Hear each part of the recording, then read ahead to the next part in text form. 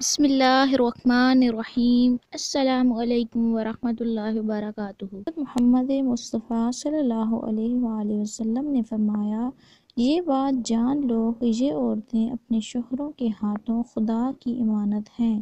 اس لیے مرد حق نہیں رکھتا کہ انہیں کوئی ضرر یا نقصان پہنچائے اور ان کے حقوق کو پامال کرے۔ اس طرح کی مزید احادیث جاننے کے لیے ہمارے چینل ابراہیم ٹی وی کو سبسکرائب کریں اور بیل بٹن کو پریس کریں۔